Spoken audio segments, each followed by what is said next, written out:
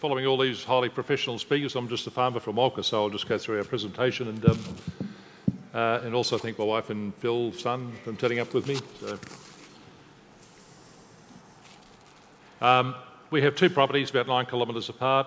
The flags on Thunderbolt's Way is about 3,500, 3,600 acres, predominantly steep basalt soils uh, running out to moderate um, plains country. Kentucky Blue, um, Topdale Road, comprises about 5,500 acres, of which about half is, excuse my microphone problems, um, half runs down a sort of steep gorge country which we don't really use very much of. Uh, we run a few heifers in wintertime and they're pretty hard to muster getting them out. Um, we have a, a, pasture improvement program, the uh, fescues, prairie grass, um, new cocksfoots, red and white clovers and uh, along with plantain. Our rainfall ranges from about 38 to 40 inches up to about 60 inches on the eastern slopes and falls.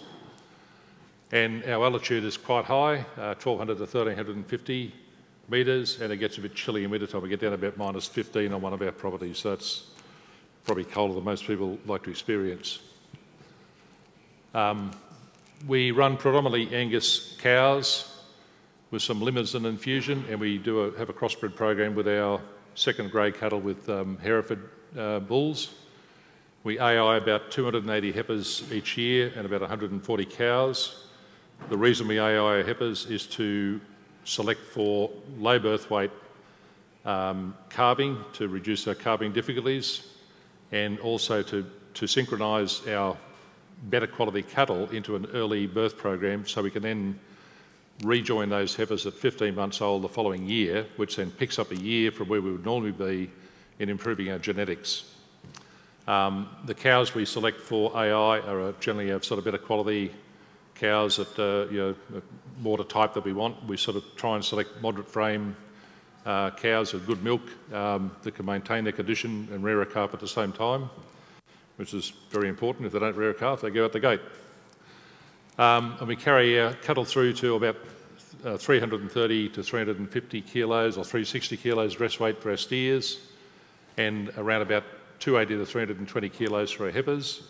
We do supply uh, JBS with quite a number of stock each year and um, uh, we're pretty pleased with their grid. Uh, years and years ago, I think grids were actually designed to bring the average price down and I think I'd like to see in the future that the grids are actually used to pay a premium for a better quality product. Um, so we have a continual property um, development program. We've got, when we bought all this country over the years, it was very run down. It's very challenging country. It's very rocky, um, quite hilly.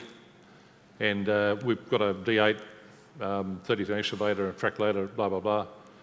And we're sowing, we're trying to sow probably about five to 600 acres of new country each year with either ryegrass or as a short-term crop, you know, we use uh, Italian tetraploids and diploids, or we sow down to a permanent pasture, which is probably fescues or uh, a fescue blend with a cocksfoot and, and, prairie grass.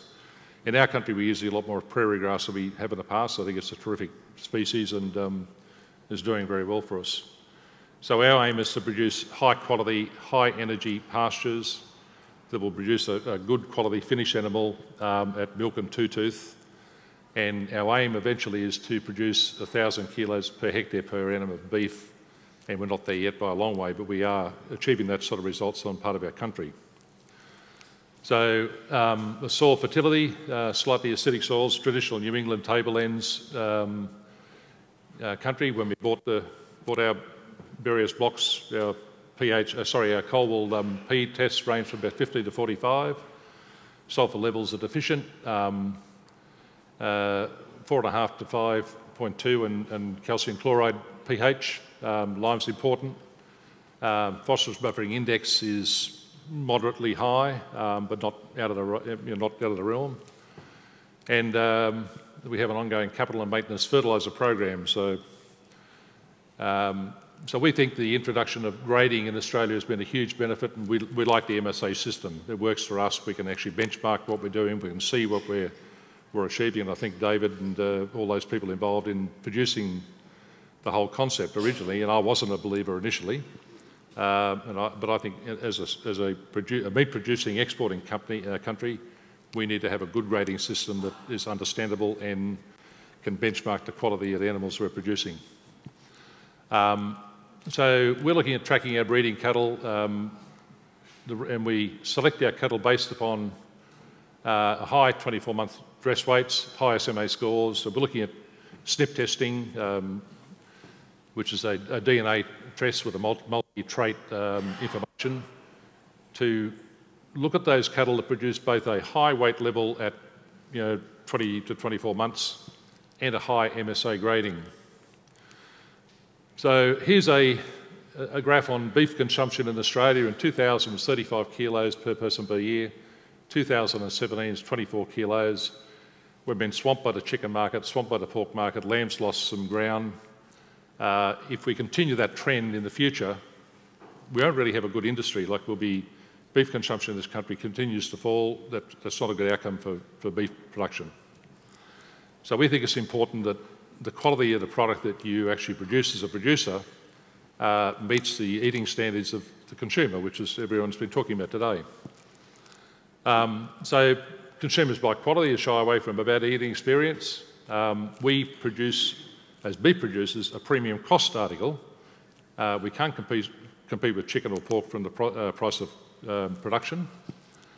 And um, uh, I think I've got the wrong slide set, but anyhow, that's, that's all right. Um, I don't know how that occurred.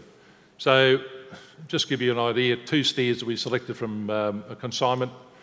Lot number 476 uh, had an MSA grade of 58.71, uh, $5.80 a kilo, weigh 330.4 kilos, brought $1,916. The reason I put this up is the second steer, which was over 360 kilos, we dropped back 10 cents, but he was a better steer uh, with a 66.07 MSA grade, which is pretty damn good. Um, so we didn't get paid a premium for that second steer, but I think in the future we should be getting paid a premium for those higher uh, MSA grading cattle. Now maybe Mark doesn't quite agree with that, but I think Mark does actually.